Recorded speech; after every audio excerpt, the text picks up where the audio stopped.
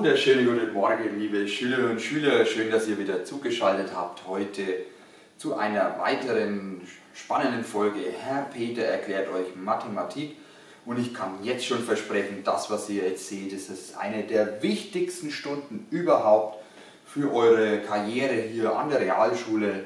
Heute geht es mit einem der aller, aller, aller, aller wichtigsten Kapitel der Mathematik los und das muss man dann jedes Schuljahr muss man das anwenden. Und es fängt einfach an und wird immer mehr aufgebauscht, bis am Schluss dann sozusagen richtige Termmonster da sind, die man dann zusammenfassen muss. Und ich fange jetzt mal mit zwei ganz einfachen Termen an. Den ersten Term nennen wir ähm, minus 2 mal x plus 8. Und ein zweiter Term, der soll mal lauten 0,5 mal x minus 10.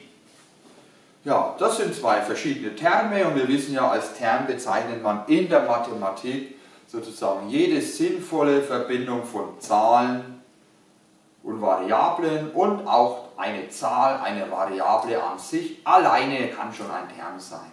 Das heißt, wenn wir jetzt zum Beispiel hier sind hier jetzt zwei Terme mit Variable. Ich kann mir natürlich da an der Stelle auch noch Zahlen denken. Zum Beispiel hier die Zahl 5. Oder nehmen wir an, hier hätte ich die Zahl minus 7. Gut, ja, und jetzt habe ich sozusagen also Terme auf der einen Seite und letztendlich Zahlen auf der anderen Seite. Und jetzt, jetzt kommt es, jetzt kann ich dementsprechend diese zwei Terme mit Zeichen verbinden. Und sobald ich jetzt Terme mit einem ist gleich verbinde, dann sagt man, liegt jetzt eine Gleichung vor. Und häufig müsst ihr dann in Mathe dann immer wieder Gleichungen so umformen, dass ihr halt dann dementsprechend wisst, was die Variable war. Und vorher war das dieser tolle Platzhalter. Ja, und wenn einer überhaupt keine Ahnung hat, um was es da geht, da gibt es immer Möglichkeiten, man könnte zum Beispiel Gleichungen durch Probieren lösen. Wenn ich Gleichungen durch Probieren löse, heißt es dementsprechend, ich setze da Zahlen ein und schaue halt dementsprechend, was kommt da raus. Ja, könnte man zum Beispiel sagen, gut, ich setze jetzt für x mal ein die Zahl 2. Also könnten wir hinschreiben, minus 2 mal 2 plus 8 ist 5 Und jetzt könnte man es ausrechnen. Also die minus 2 mal 2 wäre in dem Fall minus 4 plus 8 ist 5. Und wenn ich minus 4 plus 8 rechne, dann kommt raus 4. Also steht jetzt am Schluss da 4 ist gleich 5. Ja, muss man mal überlegen, kann das sein, kann 4 das gleiche sein wie 5? Sind 4 Schnitzel von das gleiche wie 5 Schnitzel? Nein, ist natürlich nicht das gleiche, weil wenn ich 5 Schnitzel esse, habe ich ein viel besseres Bauchgefühl sozusagen, als wenn ich vier Schnitzel esse. Deswegen ist vier nicht das gleiche wie fünf, also ist das falsch und in dem Fall müsste man hier jetzt hinschreiben ein F für falsch. Gut, wenn wir ein bisschen weiter rumprobieren, ich könnte natürlich jetzt da alle möglichen Zahlen einsetzen und das jetzt im Kopf auflösen. fangen wir halt mal an mit, nehmen wir an, wir haben jetzt Zahlen, die man einsetzen soll von Grundmenge von 0 bis 8 soll man alle Zahlen einsetzen und dann schauen, was wäre dementsprechend dann jeweils der Termwert. Das heißt, nehmen wir an, wir haben als Grundmenge, die schreibe ich mal hin, Grundmenge soll mal alle Zahlen sein von 0 bis 8, also 0, 1, 2 und dann halt noch die 8 also wichtig, wenn ihr solche Mengen habt dann, und habt da Strichpunkte, kann man mit Punkt, Punkt, Punkt, Strichpunkt weitermachen, dass das die Zahlen sind. Man könnte auch eine Schreibweise nehmen, die nennt man Intervallschreibweise, um da deutlich vorzulegen, dementsprechend welche Werte man nimmt. Also das wäre jetzt zum Beispiel das Intervall, also für x wäre jetzt ein Intervall von sozusagen 0 bis 8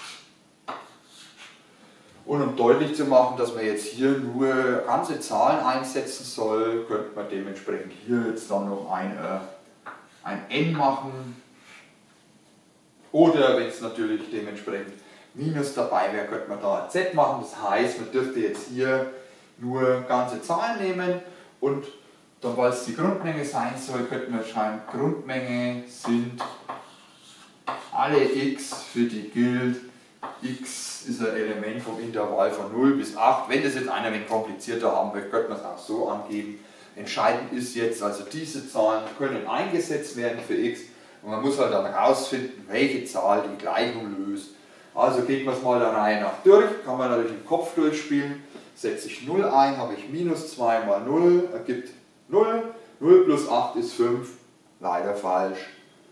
Weil dann 0 plus 8 ist ja 8 und 8 ist nicht 5, also es wäre falsch. Nächste Zahl nehme ich an, ich habe 1, also minus 2 mal 1 habe ich minus 2, minus 2 plus 8 ist 6, ist auch nicht 5, wäre falsch. Wenn ich 2 einsetze, haben wir gerade ausgerechnet, wenn ich 3 einsetze, hätte ich minus 2 mal 3, wäre in dem Fall dann äh, sozusagen minus 6, minus 6 plus 8 komme ich sozusagen dann auch auf alle möglichen Zahlen. Allerdings auch 5 wird da nie rauskommen. Das heißt, auch bei 8, wenn ich es einsetze, minus 2 mal 8 wäre es dementsprechend minus 16 plus 8 wäre ich bei minus 8. Also in dem Fall gäbe es jetzt aus dieser Grundmenge hier keine einzige Zahl jetzt dementsprechend, die diese Gleichung lösen würde. Also es kann auch mal sein, in dem Fall stelle ich fest, da gibt es keine, also ist die Lösungsmenge für diese Gleichung in dem Fall die leere Menge. Grund, weil ich kann jetzt, könnte jetzt aus dieser Zahlmenge alle Zahlen einsetzen, die diese Gleichung lösen, gibt es keine. Ja, vielleicht habt ihr auch schon rausgefunden, was es ist für Zahl.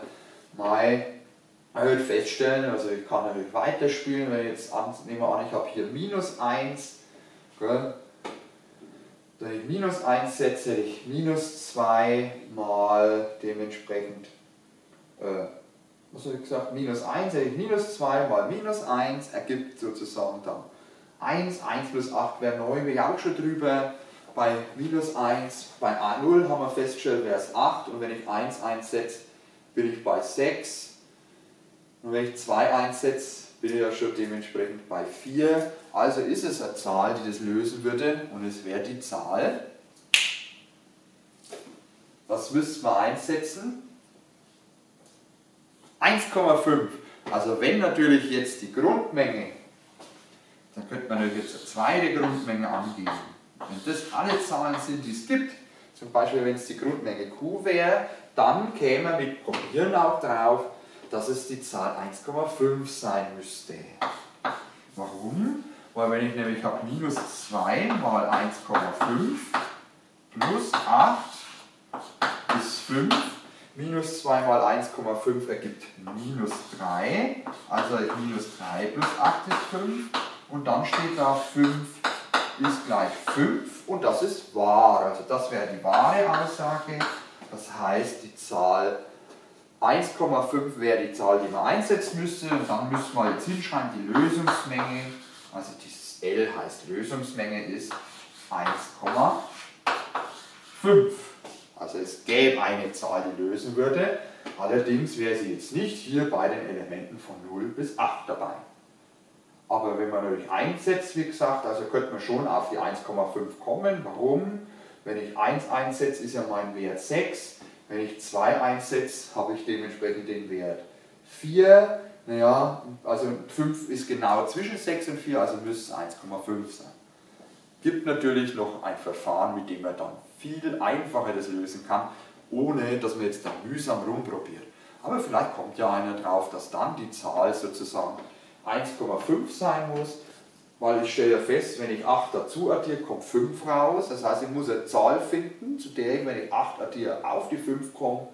Und auf die komme ich, wenn ich zweimal diese Zahl rechne. Und dann soll klar sein, ich muss zu minus 3 die 8 dazu addieren, damit 5 rauskommt. Und dann muss es 1,5 sein. Also letztendlich, ihr müsst manchmal Gleichungen durch Probieren lösen. Das heißt, man setzt alle möglichen Zahlen ein aus der Grundmenge und schaut halt, was rauskommt. Da ist natürlich geschickt, wenn man grob ein wenig abschätzt, wo es sein könnte, weil sonst seid ihr ewig beschäftigt, da Zahlen einzusetzen, bis ihr dann genau die findet, die die Gleichung löst. Ja, schauen wir uns den nächsten Part an. Also wir haben jetzt hier auch, es soll jetzt dementsprechend 0,5 mal x minus 10 soll minus 7 ergeben. Können wir ja dementsprechend mal Zahlen einsetzen. Gut, wenn ich 0 einsetze, hätte man 0,5 mal 0 minus 10, hätte ich minus 10, minus 10 minus 7 wäre falsch. Wenn wir 1 einsetzen, aus dieser Grundmenge hätten wir 0,5 mal 1 sind dementsprechend wäre 0,5, 0,5 minus 10 ergibt letztendlich dann minus 9,5. Also dann sollte klar sein, also das muss natürlich irgendeine gerade Zahl sein schon mal. Also dementsprechend vielleicht 2, 4 sonstiges, weil sonst komme ich ja mit dem 0,5 nicht mehr auf was gerade ist. Also setzen wir es halt mal ein. Fangen wir an mit 0,5 mal 2 minus 10 ist 7, rechnen wir aus. 0,5 mal 2 ist 1, 1 minus 10 wäre minus 9. Also hätten wir minus 9 ist minus 7. Leider falsch. Setzen wir die nächste ein, 3. Brauchen wir nicht, kommt Komma 4. Also hätten wir, könnten wir probieren, was ist das? 0,5 mal 4 minus 10 ist das minus 7. Dann hätte ich in dem Fall 0,5 mal 4 ist 2, 2 minus 10 ist allerdings minus 8. Also sind wir schon nah dran, also hätten wir minus 8 ist minus 7. Auch falsch. Ja, nächste gerade Zahl, 6. Also, wenn ich rechne 0,5 mal 6 minus 10 kommt raus, dementsprechend minus 7. 0,5 mal 6 ist 3, 3 minus 10 ist minus 7. Also hätte man in dem Fall für 6, wenn ich es einsetze, die wahre Aussage. Also folgt die Lösungsmenge ist dann dementsprechend immer, in dem Fall jetzt hier, die Zahl 6. Wäre natürlich jetzt hier zum Beispiel rauskommen, dass es die Zahl 10 wäre, ist jetzt hier nicht der Fall, dann müsste ich schauen, ist diese Zahl, die ich rausfinde, in der Grundmenge enthalten? Und wenn sie nicht dabei ist, dann wäre wieder die Lösungsmenge die berühmte leere Menge. Und für die leere Menge gibt es zwei gängige Symbole. Das eine ist ein Durchkreis, der so durchgestrichen ist. Und was auch noch geht für die leere Menge wäre die Mengenklammer auf, die Mengenklammer zu, ohne Zahl drin. Also das waren also Symbole für die leere Menge, die haben immer mal wieder ihre Verwendung. Häufig kommt nicht die leere Menge raus, sondern irgendeine Zahl. Und falls natürlich hier ihr mal eine Gleichung löst, und da käme jetzt zum Beispiel als Lösungsmenge raus als Zahl 1,2 und die Grundmenge wäre dann z, was die ganzen Zahlen sind, also minus Punkt, Punkt, Punkt, minus 4, minus 3, minus 2, minus 1, 0, 1, 2, 3 und hoch, dann wäre natürlich dann 1,2 kein Element von z. Also wäre auch hier dann die Lösungsmenge die leere Menge. Sobald nichts angegeben ist in Zukunft, ist eigentlich häufig die Grundmenge immer die größte Zahlenmenge, die es gibt. Das heißt für uns, die Max, ist die Grundmenge dann immer Q, es sei denn, es steht was anderes da. Und dann müsst ihr aufpassen, wenn natürlich dann Brüche oder Dezimalbrüche als Ergebnis rauskommen, weil wenn die Grundmenge n ist oder z und Ergebnis dann für die Variable wäre ein Bruch, dann wäre die Lösungsmenge immer die leere Menge. Also grundsätzlich könnt ihr dementsprechend, macht ihr das einen kleinen Hefteintrag, schreibt da drüber als Überschrift ähm, Gleichungen und dann erstens schreibt er dann hin, Gleichungen kann man durch Probieren lösen und dann macht ihr dementsprechend diesen Eintrag hier, Beispiele sozusagen und dann so könnte man das also dann durchprobieren, Gleichungen lösen. Was da auch immer interessant ist, ist dann immer die Grundmenge von der Bezeichnung her, was ist die Lösungsmenge. Da findet ihr dann auch in eurem Buch einen schönen Merksatz drüber, Merkkasten zu dem Thema Gleichungen. Den schreibt ihr dann bitte noch nach diesen Tafelanschrift ab Müsst ihr halt mal schauen, Gleichungen und Ungleichungen. Ich habe das Buch jetzt nicht da, in jedem Buch ist es auf der anderen Seite. Und da werdet ihr bestimmt feststellen, dann heißt erstmal grundsätzlich bei Gleichungen, die Grundmenge ist immer die Menge aller Zahlen, die man für die Variable einsetzen kann. Soweit nichts anderes angegeben gilt, immer g ist dann q. Und die Lösungsmenge enthält dann immer die Zahlen, die beim Einsetzen in die Grundmenge eine wahre Aussage liefern. Ja, wie gesagt, da gibt es überall in jedem Buch Merksätze, da könnt ihr gerne den dann nochmal übernehmen. Und so löst man Gleichungen durch Probieren. Das heißt, habt ihr jetzt mal gesehen, wie das geht. Irgendwann wird man natürlich Gleichungen nicht mehr durch Probieren lösen, sondern mit den sogenannten Umformungen. Und diese Umformungen nennt man dann Äquivalenzumformungen. Und da wisst ihr auch, äquivalente Terme gab es ja schon, bedeutet gleich.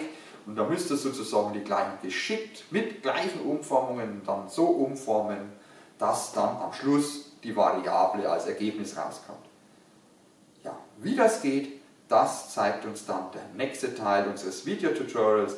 In diesem Sinne, bleibt gesund, macht's gut, bis die Tage, euer Herr Peter.